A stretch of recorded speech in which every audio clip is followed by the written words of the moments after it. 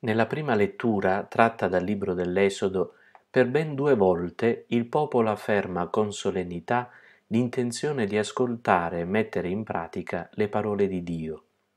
Sono i comandamenti attraverso i quali il Signore offre la sua alleanza ad Israele, che ha strappato dalla schiavitù d'Egitto e che sta per fare entrare nella terra promessa, dove il popolo potrà vivere appieno la sua libertà mettendo in pratica le parole di Dio.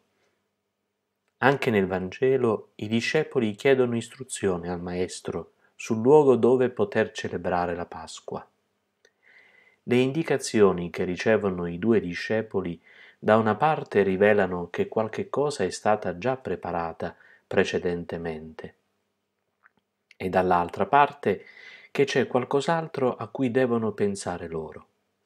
Quando ascoltiamo e mettiamo in pratica la parola di Dio, ci prepariamo a vivere la Pasqua, ossia l'Eucaristia, come evento di passaggio, o diremmo meglio, di trasformazione. Celebrando l'Eucaristia anche noi saliamo al piano superiore, lì dove la nostra vita, toccata dalla grazia di Dio, fa un salto di qualità e diventa sempre di più vita eterna. Questo lo spiega e lo attua Gesù stesso con i gesti e le parole che compie durante l'ultima cena. Mentre è a mensa con i dodici per celebrare la Pasqua ebraica, Gesù compie due gesti che rompono il rituale secolare. Prende il pane azimo, ovvero senza lievito, prega recitando una benedizione, poi lo spezza e lo distribuisce ai discepoli dicendo questo è il mio corpo. Lo stesso fa con il calice del vino che fa passare perché tutti ne possano ber- bere un sorso. Anche sul vino ha una parola. Questo è il mio sangue dell'alleanza versato per molti. Così facendo Gesù istituisce un nuovo rito col quale celebrare l'Eucaristia e vivere in noi la sua Pasqua. Il pane spezzato e il calice colmo di vino sono i segni vivi che rendono presente Gesù nell'atto di donare la sua vita sulla croce e di versare il suo sangue perché si compia la comunione con Dio. Il pane e il vino dell'Eucaristia non sono allegorie che rimandano ad un significato ulteriore, ma il tempo del verbo essere indica l'ora nella quale si rende presente Gesù nell'atto di donare la sua vita per unirci a Lui in comunione con il Padre. Nella Pasqua, così come avviene in ogni Eucaristia, il protagonista unico e indiscusso è Gesù. Non solo invita al banchetto, ma lui stesso si offre come nutrimento e bevendo al medesimo calice del vino rende, ci rende partecipe della sua gioia sponsale. Il banchetto è esperienza di festa non solamente intesa come appuntamento nel quale celebrare un fatto del passato, ma come evento che segna e trasforma la vita presente affinché sia compiuta nel giorno ultimo. Gesù ci trasforma in Lui stesso. Celebrando l'Eucaristia e nutrendoci del corpo di Cristo, diventiamo cristiani in quanto Cristo vive in noi.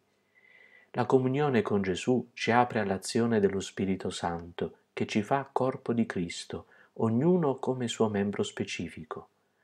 Non siamo aggregati come un corpo estraneo, ma come membra vive che sperimentano la comunione e la collaborazione con le altre per il bene integrale e totale del corpo. L'esperienza fatta nella Chiesa, corpo di Cristo, insegna che nessuno può vivere per se stesso, ma ognuno sta bene se vive relazioni di comunione con gli altri. L'amore di comunione si vive seguendo i quattro verbi riferiti al pane azimo, segno della vita di Gesù. Prendere, cioè ricevere, benedire, spezzare e dare.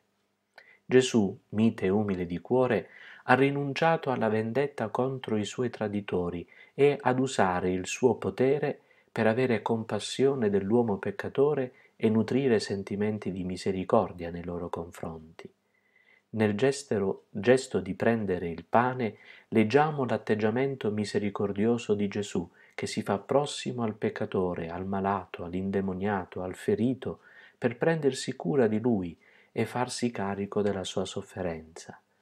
Gesù condivide con noi la fatica del lavoro, soprattutto quello per tirare fuori l'uomo nuovo da quello vecchio, pieno di incrostazioni e durezze. La preghiera mette in collegamento il cielo e la terra e Gesù, sospeso sulla croce con le braccia stese sul legno del martirio, è il ponte che unisce Dio e l'uomo. Lo spezzare il pane è segno del sacrificio che passa attraverso il dolore e la morte. Il tradimento di Giuda spezza la comunione, mentre nell'offerta della propria vita Gesù spezza se stesso per sanare la rottura causata dal peccato e redimere la morte che rompe i legami di fraternità.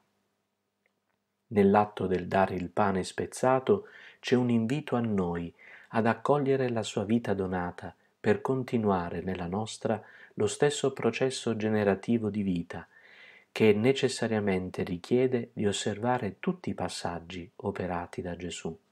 In tal modo l'Eucaristia assume il suo valore esistenziale, che permette di amare la vita donandola e di vivere, anticipandolo nell'oggi, l'amore eterno. Signore Gesù, pastore che raduni in unità il tuo gregge e lo pasci dando te stesso da mangiare, ispirami sentimenti di obbedienza e umiltà, perché partecipando al banchetto della tua sapienza possa essere dispensatore del pane della parola. Sposo dell'umanità, che salendo sulla croce hai condiviso con il povero la sua miseria e con l'innocente l'ingiusta sofferenza, donami, con il perdono dei peccati e la gioia della riconciliazione, la virtù della compassione, per farmi compagno con i miei fratelli nel comune cammino di conversione. Signore Gesù, tu che risorgendo dai morti sei diventato sommo sacerdote e hai aperto il passaggio al cielo, vieni ad abitare nel mio cuore e trasformami in te, perché nel pane e nel vino posti sull'altare, frutti della terra e della fatica di ogni giorno, il mio servizio sacerdotale sia un'eterna benedizione che sale al Padre come lode di ringraziamento e che discende sui miei fratelli come balsamo di misericordia. Auguro a tutti una santa festa del Corpus Domini e vi benedico di cuore.